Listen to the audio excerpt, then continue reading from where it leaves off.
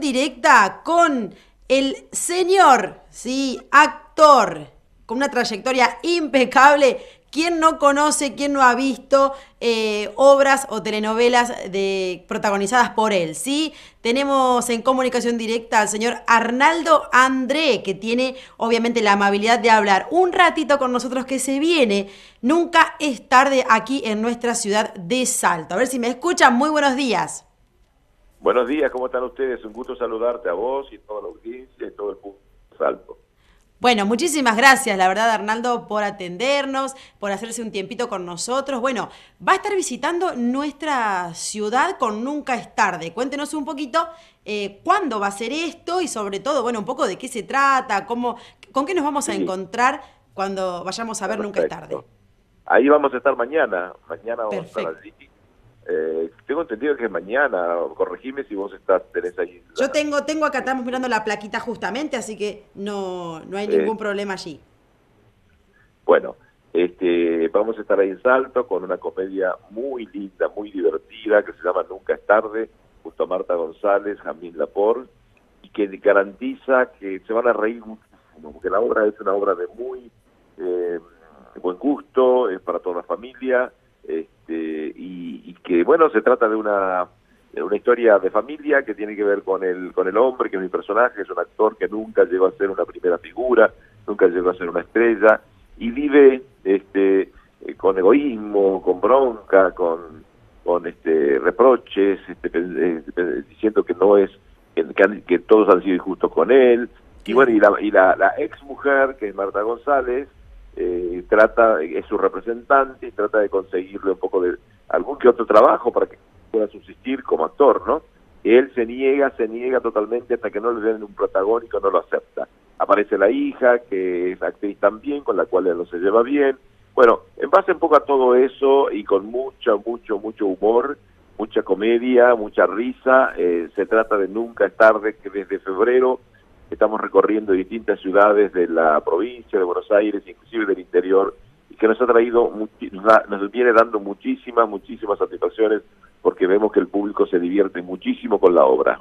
Absolutamente, además muy necesario, ¿no? Porque digo, luego de la pandemia, luego de todo lo que, lo, que pasamos eh, y que hoy, bueno, gracias a Dios podemos decir que eh, tenemos apertura, por lo menos en nuestra ciudad completa, eh, realmente uno necesita, ¿no? Ir un poco a reírse, a pasarla bien, si bien ahí podemos ver, ¿no? Como una especie de, conflicto interno que tiene el protagonista de Nunca es tarde, pero bueno, ¿no? Eh, digo, eh, también... que debo decir, debo decir que eso, eh, si bien yo te estoy contando nuestra historia, la historia de Nunca es tarde, Nunca es tarde también lo podemos utilizar para, para, para cualquier ámbito, rubro en, en la vida, o sea que la gente tiene que entender que nunca es tarde para empezar cualquier cosa, para empezar una profesión, para empezar una, una relación, para reiniciar una relación con amigos, lo que sea.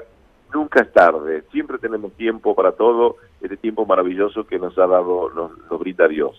Exactamente, porque eh, si, vamos un poquito más a lo que es social, ¿no? Uno tiende todavía, lamentablemente, en 2022 y en este siglo, tiende a decir, bueno, ya hay una edad donde no ciertas cosas no las hacemos, no nos animamos, no podemos. Y hay una mirada, ¿no? De, uh, ¿cuántos años tenés? ¿Ya tenés más de 30 o tenés más de 40 o tenés más de 50? Tenemos todavía esa mirada, lamentablemente, ¿no? lamentablemente, pero bueno, eh, mira, yo te cuento rapidito esto. Una cosa que siempre me ha llamado la atención es en Europa, en Estados Unidos, que pronto va uno va a un, a una, una, un restaurante, y vos ves que, o a un negocio cualquiera, y vos ves que te atiende por ahí es una señora de 60 años.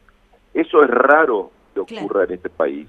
En nuestro país pasan los 40 y ya, yo tengo una hermana que tiene 50 y algo y ya no consigue trabajo. Exacto, a eso iba. Entonces, eh, es, una pena, pero nunca es tarde. Uno tiene que poner, no por eso amilanarse y decir, bueno, yo no sirvo para esto. No, no, no, pelearla, pelearla, luchar y buscar otras buscar otras eh, otras metas, pero con, esa energía que, que, que, debemos tener siempre para encarar algo. Algo que si es nuevo, bueno, con más energía todavía. Claro, totalmente, sí, eso es verdad, que lamentablemente en nuestro país todavía sufrimos esto de que, bueno, si no te, si sos mujer, sobre todo si sos mujer, si no te acomodas más o menos en un trabajo fijo cuando sos joven, después cuando sos más grande es más difícil. Eh, la verdad que eso, eso, eso habría que eh, empezar a, verlo de otra forma, a cambiarlo, ¿no? Y al hombre también le cuesta, en una determinada edad, sabe que si no se realizó de alguna forma, ¿no? En lo laboral y en algunos aspectos de la vida a los 40, ya después no tiene, pareciera, ¿no? Que no tienen ya más oportunidad, lamentablemente. Exacto. Y bueno, hablando de emprendimiento, de, de, de, poner energía y todo, quiero mandar un saludo a, mi amiga Mari Freises, ahí de Salto, que es de Sabores sí. de Mari Freises, y que es amiga mía, yo conozco a la familia y son trabajadores, pero que desde siempre han empezado a trabajar y siguen. Y ella, por ejemplo, hablé ayer diciéndole que yo iba ahí para Salto y me decía que no vas a conocer el lugar, lo he remodelado. Quiere decir que ella también piensa que nunca es tarde para seguir haciendo cosas. Totalmente. No quedarse, ¿no es cierto? Te cuento. yo te tengo que cortar, te tengo que sí, decime, decime. Te cuento, Arnaldo, que lo que lo que ha hecho Mari Freixes en este último tiempo, esta renovación y ha ampliado su, su está impecable, es impresionante. Y eso es un claro ejemplo de lo que es ser un trabajador incansable y cómo sigue emprendiendo. Exacto. Exacto. Así que bueno, le dije que mañana iba a pasar por allá. Eh, mando un saludo grande y quiero invitar una vez más porque me están llamando de otra localidad que tenemos que ir este fin que es Bragado. Este, y quiero mm, entonces invitar a la gente de Salto que vaya y que se divierta, quiero verlos a todos, pues nos sacaremos fotos, la van a pasar muy lindo, vuelvo a decir, es una obra para todo público, todos van a entender la obra, se van a divertir, es de muy buen gusto, eh, no es una comedia chabacana, eh, no es una comedia pasatista, Así que nunca es tarde con Marta González y Jazmín Lapor, que es la hija de mi querido amigo Osvaldo Lapor, que está excelente también en la obra. Y, bueno, y la invitación está hecha para que nos encontremos mañana allá, en Salto. Exacto, Arnaldo, muchísimas, pero muchísimas gracias. Sí, así que bueno, les deseamos obviamente lo mejor para mañana jueves 5 allí a partir de las 21 horas en la Sociedad Francesa. No se olviden, están todos invitados a, a ser parte ¿no? de este Nunca es tarde. Muchas gracias, Arnaldo. Muchas gracias a vos. Chao, chao.